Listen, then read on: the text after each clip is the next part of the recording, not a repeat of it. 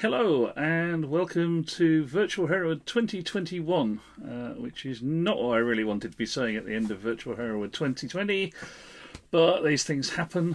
Obviously, uh, with the continuing pandemic, it wasn't possible to put a real show on this year, so we have done our best to bring you some entertaining video war games content uh, from the club and hopefully from further afield.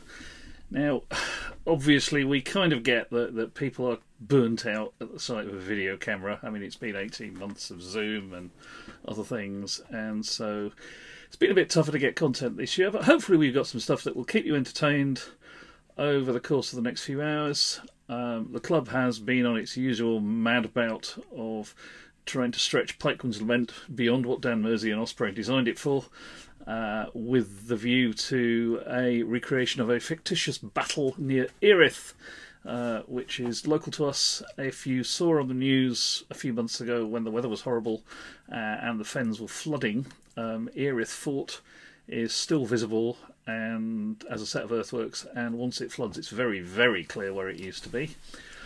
So hopefully you will enjoy that. There's a bunch of other stuff. Uh, we have a interesting interview with Major General James Cowan of the Waterloo Uncovered project concerning their new uh, Waterloo model, which is an absolutely mad project that we are rather enjoying being a part of. So other than that, not a lot else to say really. Uh, we'd like to dedicate this show to two people who passed away this year.